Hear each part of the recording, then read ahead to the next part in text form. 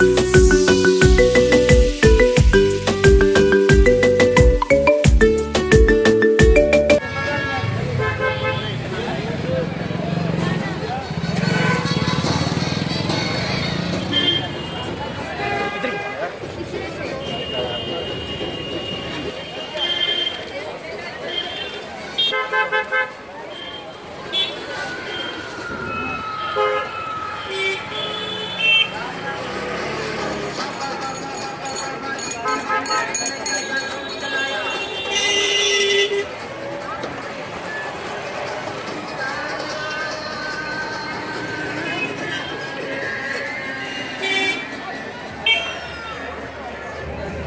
हम तो इसके पीछे लग जाते हैं लाइव बना देते हैं